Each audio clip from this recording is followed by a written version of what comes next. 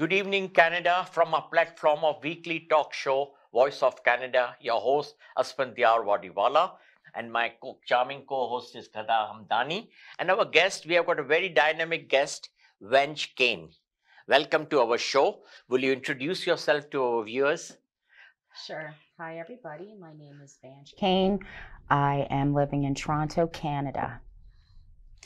Okay, when do you do women empowerment, Yes. right? Yes. So how do you how do you empower women? Um, well, I like to be on the phone with women, of course. Um, usually, when a woman uh, sends a request to me to find out more about me, I like to do like a Zoom meeting with her. Um, in one session, find out what her pain points are. And then from there, I don't know, it's a gift, but my mind is able to come up with a game plan Mhm. to help her out of that situation. I had one client, um, her name was Jordan Wentz, and she is a famous actor. Uh-huh. And I don't remember uh, how we ended up, you know, becoming so close, but in my first session with her, I was able to tell her exactly what her issues were and how to help her and what she needed. And I've worked with a lot of women, um, influencers of all different types, and helping them turn. My slogan is "Turn your pain into power." Wow, Oh, that's wow, that's a very powerful slogan. Yeah. Okay, Vange, you are also an author of a book, Yes. Unfold of Petals. yes. So, would you uh, emphasize what your book contents of your books are? Unfold Your Petals is um, a book that has like eight to 10 goddesses in it. Uh huh. And what I do is take those eight goddesses, take their story, and relate it to women today. So I use them kind of as a guide to heal women through their situations. For example, um, Aphrodite was in love with a man and he was like handicapped and he wasn't able to fully love her the way she wanted to. And a lot of people find themselves in those situations and they're torn with what to do. So, inside my book, I give great insights, great meditations, good healing techniques that will help women um, navigate gab- navigate through the things that we all face in life all the time. Mhm. Or Goddess Hera, you know, her husband, you know, he was into infidelity a lot, and a lot of women face that as well. And so, inside this book, um, there's a lot of healings on that and opening the doors to trust and forgiveness, not just for him, but for yourself. Lovely. Because healing starts within. And when you heal yourself, you notice so many things around you change. And so, I mean, we've all been through something. And I, you know, embrace those hardships and turn that pain into power. Into power. Lovely. Okay, and lovely. are awesome. you uh, specialized in certain type of empowerment, certain type of pain? Have you yourself went through painful experiences? experiences? Uh, did you get any training? So it just Yes. if we can, you know, dig a little bit deeper here. Okay, so I am a certified uh, coach. I went to Edler Coaching Academy in 2018. I'm certified through um, the Coaching Academy. Um, from there, I decided what type of coach I wanted to be Mhm. because in the world of coaching, you just have to know the foundation of how to help the The person. basic foundation. So yeah. once you know the basic foundation, I could have been a financial coach, but you'd be broke, right? I'm not the best with financing Yeah. per se, but in terms of women's empowerment, that is my thing because yes, I did go through a lot. Um, I was in a relationship for 23 years, Mhm. and I know from my that man turned me and give me a PhD. Wow. I learned everything I need to know about relationships, and then I took that with my um, my schooling, Mhm. um, and I learned a lot from that. We had two kids together, um, separated after 23 years, um, so I know what it takes to stay in a relationship and fight, and I Mm. also know from my own personal experience that there's a point where you know a woman feels okay i want to stay here because it's my family. But there's also that point where you need to forgive yourself and accept yourself for not wanting to Mhm. because you know you've reached your limit or you know something's going on that's just really making you feel degraded as a woman and you feel that you want to respect yourself more, More. there's always, you know, and a lot of women when they're married, they don't want to leave because Leave. they're They're afraid, you know my kids are going to be Mm. sad you know all these things and it, it's always which i totally respect too right but there are some people that do want to and they just need maybe that push you know to give themselves you know and to make themselves free from all the anxieties and the, the anxieties the problems are stress facing in their life. the fear i never tell people what to do with their life Mm. but i listen to what they they know what they need they just have to Correct. hear it they have to see it they have to feel it they Feel have to believe it it. staying is right, not staying is right. It's really what's in here. It's individual cases. It depends Yes. upon the individual person and how far that person is strong enough to also quit that situation. Yeah, It's not easy for every woman. I know. They need the support to take the step. Support to take the step, Yeah. then there are so many things behind it financial and other stability, the shelter over your head, and many things. One thing I've noticed in my day, and you can probably agree, we all have somebody in our lives who's dating someone or married to someone that we just don't understand Mhm. why. But for me, I noticed that you could tell someone to leave someone as much as you want. If Mhm. they're not ready, Ready. it will Correct. never happen. never happen. That True. person has to feel it in the core I'm getting out of here. Or they have to know Or internally that strong enough to get I want to stay, right? There's no right or wrong. It's really whatever you can tolerate. And everybody's tolerance level is different because some things that I tolerate, another woman would have been gone 10 years prior. True. You understand? So it's really what makes you feel yeah, it's- good. It's, a, it's an individual thing. yes. You're too young for 23 years of marriage. Yes. you I, look really young. thank At What you. age Yeah. you got married at 60? I No. don't know. She looks like in her 20s. yeah. She, Well, we started dating at 15. Oh, Mm. wow. I got pregnant at Here in 15. Canada. I got pregnant at 15. Uh huh. Um, I lived in Halifax, Nova Scotia. Wow. Um, I was three months shy of 17 when I had my daughter. Wow. And I didn't know how I was going to do it, but I did. with the child. because she's 28 now. She has two daughters Wow, of her own, and she's the greatest mom I know. And I am assuming that it's from my influence because everything we learn is from our Definitely, parents, right? definitely. Correct. And I have a son who's 24, Very interesting. honor roll student, you. 95.5 average, Wow. scholarship to Penn wow. State. Both of my kids are doing absolutely That's what amazing. God bless them. Yeah, and I'm very, I have been a very devoted mom to the kids, and I've sacrificed a lot. I've put my own self last a lot, and so now is my time. Time to Yeah. give back to yourself. Yes, and I'm really enjoying that, and you know, just taking it one day at a time and Mm. seeing what I need and what I don't need and what's good, and I've learned a lot about me. But Your experience have taught you a lot. It has, it really has. When you inform our viewers, what is your background, your I mean origin, and when you migrated to Canada? I am Black, Italian, Yeah. and Native Indian. uh huh. My Native, grandmother is very good mix. Italian. Yes. Um, my fa- I'm from Halifax, but back in the day when slavery was in, Uh huh. my really? family hmm traveled to Halifax, a place that was once called Africville, that is now being celebrated every year because those homes were were torn down and taken from the people who lived there. Uh huh. Um, and so my grandmother, mother, and my grandmother were one of those people who lived there. Oh wow. I grew up in this place. Um, I grew up in Mulgrave Park, which was the projects. Um, people there didn't have much money.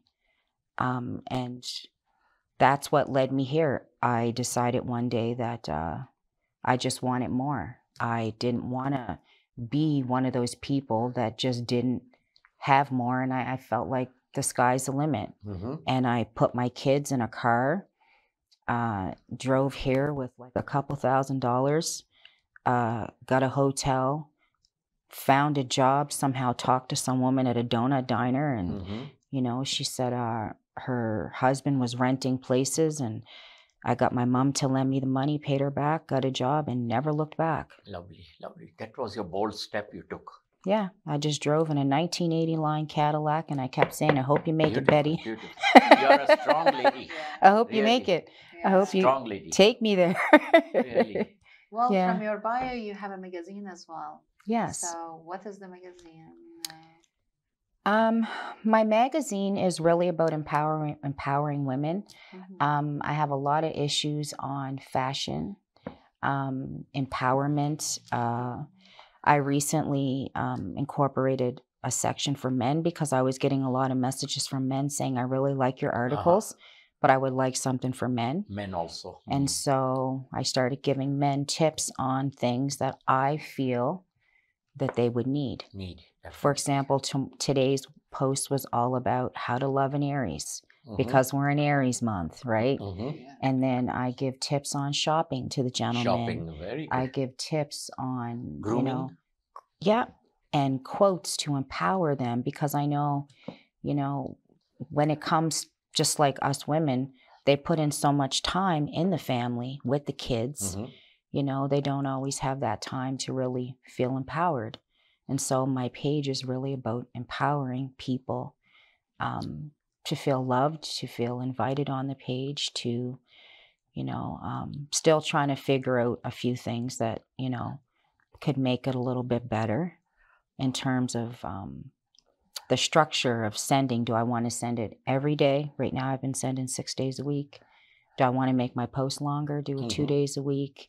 I'm still seeing what the views are and and everything what's happening And with it's that. a monthly magazine Uh, no, it comes out every three months. every three months. So January, April, Wow. that type of Is structure. it paper magazine or it's online? It's online or on paper print. Um, well, when they come out every three months, they are an, an actual magazine. Actual magazine form. Yeah, subscribers do on get them. online also then? Yes, it's right on the magazine. It's right on the website, I should say. And anybody that's subscribed, you know, they get discounts because I have affiliate programs with a lot of companies. I Mhm. get a lot of like discounts for men and women that I send directly to my subscribers.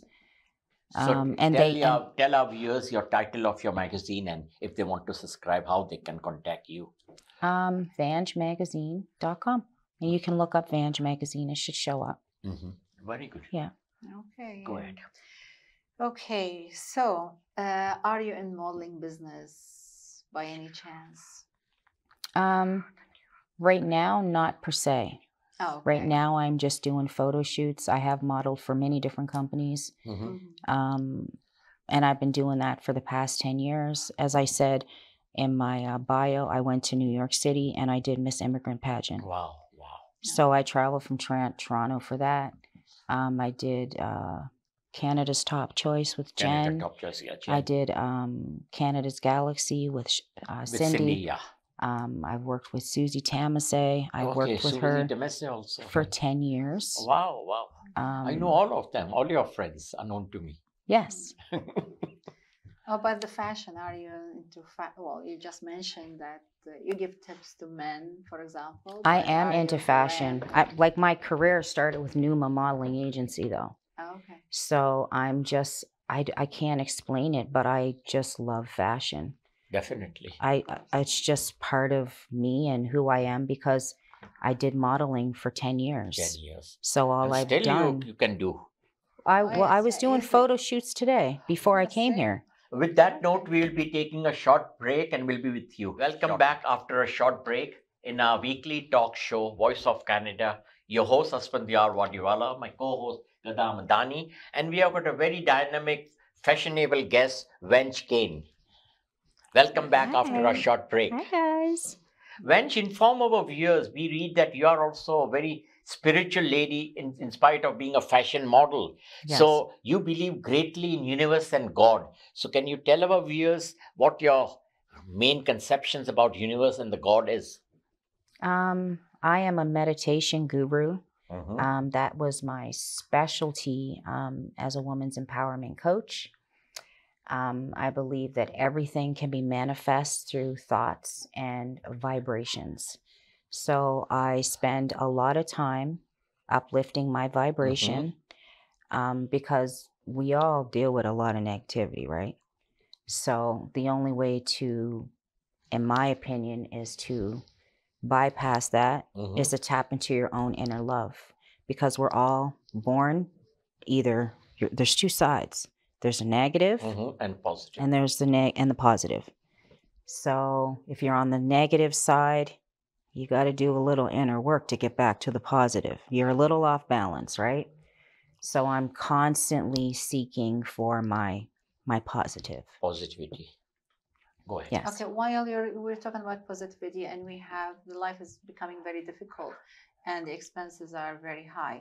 So and while we're uh, actually targeting women to empower them, so what what can you tell them? You know, it's like how can they meet their expenses? You know, there are And how to survive with in such difficult hard times, what all are facing yes all over the world, not only here in Canada. Yeah.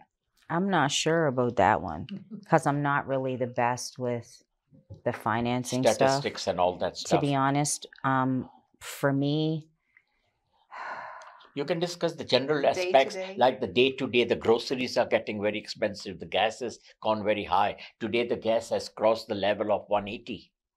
I know it's ridiculous. 1.80 so it's ridiculous so how to survive because the incomes they don't rise people have got fixed income maximum candidates they are the working class hmm so these are the problems being faced shortage of labor shortage of goods you know I was hoping you would tell me how to Um, live. then, then we'll put it in we'll put it in definitely Actually, we we'll put have it in to all go back to our government. You know, both levels. They have to tell us how to manage.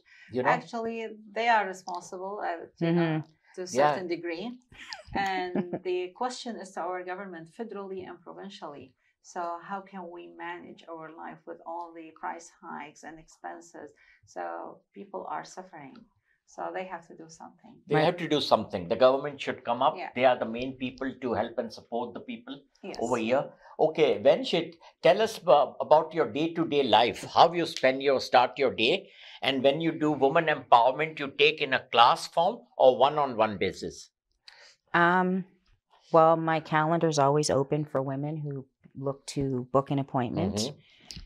Um, every Any- day I get up and I check my schedule. So if I actually have something to do, I don't book.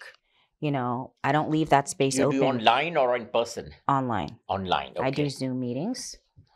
Um, and then from there, we just get to know each other. I find out what their their pain points are, what they need, why they're seeking my guidance, what they wish to get Mhm. out of it, and then I come up with an action plan to, you know, uh, help them live that fulfilling, happy life, um, and that is in alignment with them, that makes them happy, and yeah, and as far as my day to day life, I always start my morning with coffee, meditation, and a phone call from my daughter. From your daughter. Wow, wow, that's very good. Every very day. loving. Very loving. She I called me say. just before I walked in. Uh huh. So if I'm, I live in Toronto, but I'm in Niagara Falls a lot because I clearly love my grandkids and my Mhm. children still live in Niagara Staying Falls. there. Yeah. Lovely. And so I go there a lot. And if I'm it's not, far there, off. It's one hour and 10, 15 minutes drive. yeah, if know? I'm not here, then I'm at my daughter's Daughter's, because mm. if I'm gone 24 hours, it's when are you coming back? Then you're in Niagara. Do you have any hobbies while you have, you know? I love to cook. Wow. I wow. love to clean because my background also is interior design. Interior Oh, designing. okay. So, Beautiful, I beautiful. I love to decorate. It's something that, like, just three days ago, I rearranged my whole house. It looks absolutely amazing. Okay, that's So, I love to interior design. I love to cook. I like to clean. I love to dance. And I love music. I'm the typical Leo. Leo. I'm a Wow. Leo, Okay. and they're very. I'm very creative. Um, my magazine like Mm. fuels my fire to deliver, you know, goodness to people, and I'm a perfectionist with it. Lovely. I really am. I'm very. I'm very creative. Um, that's the best way I could describe and what, myself. what the kind of cooking you do?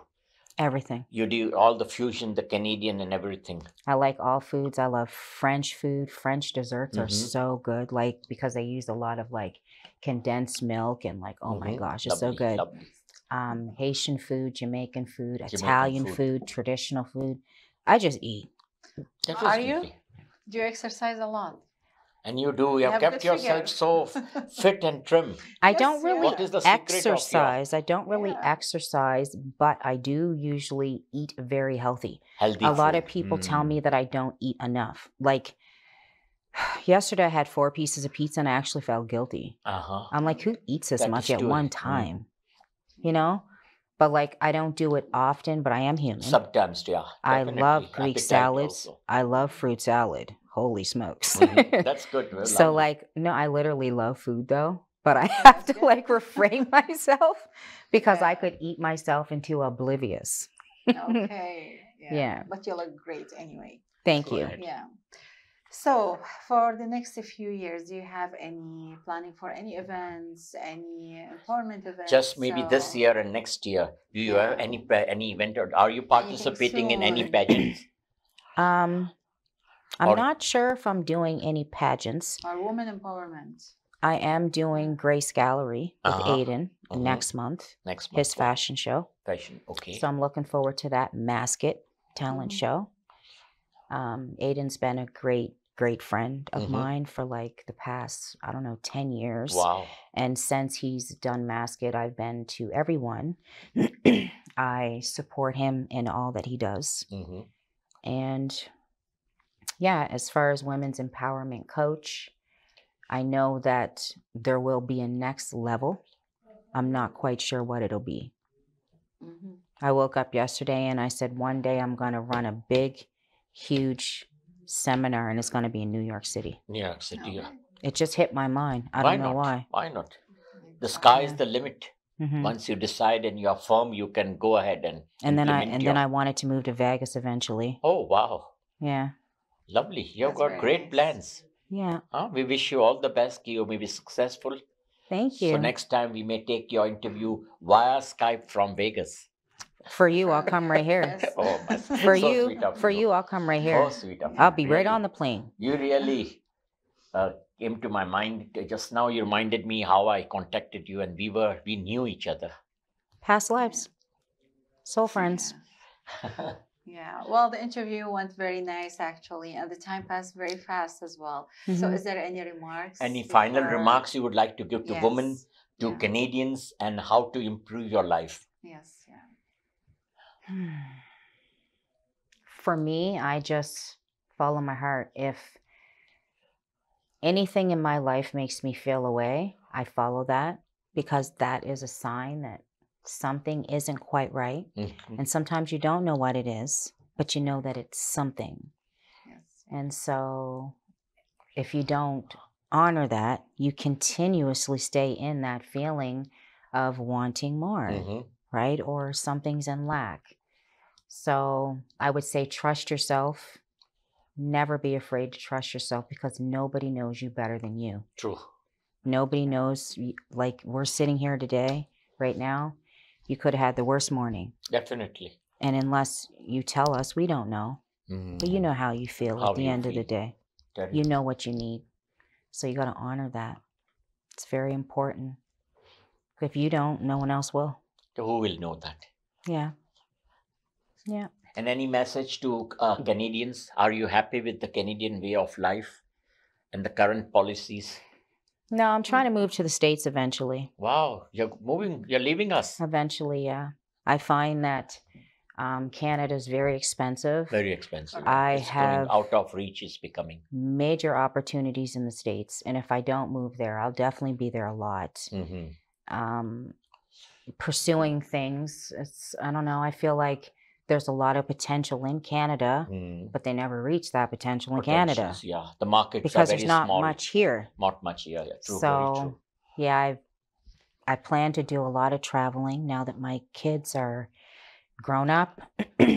um, I wouldn't say they don't need me as much because my daughter kind of does. My Mhm. son's a little bit more independent, which is fine. Uh-huh.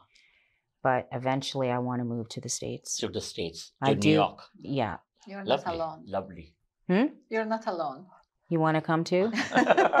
Let's get a big- let's get a are- big you know, mansion in Beverly Hills. Are planning to now well, move I've out been planning. I, I, it's on my plan. I'm getting out of here, man. because Yeah. people are getting now fed up soon after Yeah. It's the too. It's, pandemic. I find that too it's too expensive, expensive and and we are Yes. paying everything as taxes. Yeah, we I know. work From our nose. and uh, yeah. Nothing is left at the end of the day. hmm This is the situation of many families now. And you won't believe even our food bags are overwhelmed. And they There's a can't- lot of food that I see in the grocery store, and I'm like, you'll sit there. Yeah. Like who's paying twelve dollars just for a juice? Prices, yeah.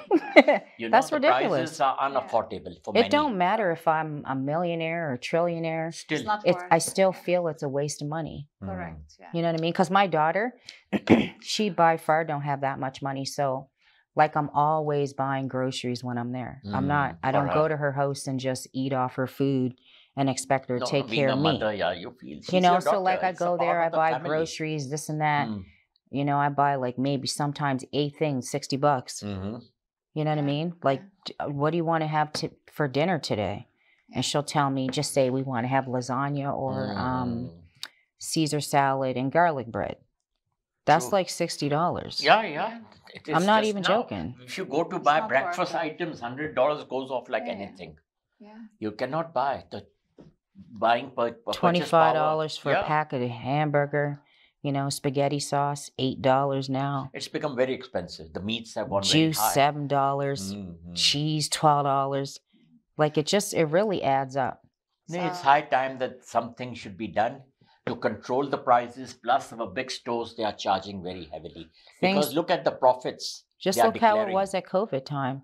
Yeah. Like I tried to buy a house at COVID time and I got outbid. I had a certain budget that I was able to, manage. you know, manage. And every single time I walked in, I got outbid by $150,000, dollars Mhm. you know, and I'm like, geez, you know, so, or there was this one house I, I went to see and I brought, you know, a friend of mine with me who does all kinds of things for houses. And I was like, okay, this house is a three bedroom, but I'd like to turn it into a two bedroom because I feel like this extra room is useless. And I, yeah. I have this this whole layout that I want for this house. Mhm. So I walk in, I look at the house, I'm ready to purchase it, whatever. And the moment I run out to the car to get the measuring tape so that he can check and see if, you know, the vision I want for this house can be done, Mhm. the real estate agent says, sorry, it's sold for uh oh wow, what a two bad hundred and luck. fifty thousand dollars more. But Oh. that was every house I went to. So Uh-huh. after 17 times, I'm like, okay, God, you really don't want me to have a house right now because I, I feel like he didn't want me locked into that because he saw Correct. something for my future that I didn't see. That's Like true. at the time, I would have been locked into a home, but I don't feel like that's But where I was currently supposed to be. you- currently, the supply is not mm. there, but the demand is very high. Yeah. The problem problem is this, and that's why the prices are hiking for But the thing market. is not worth it. It's In not worth reality, it. It's not worth it. What you're buying. You what know, you are buying is not worth. wood And, the, above the and at above the, same time, the mortgage mortgage interest rates are very high.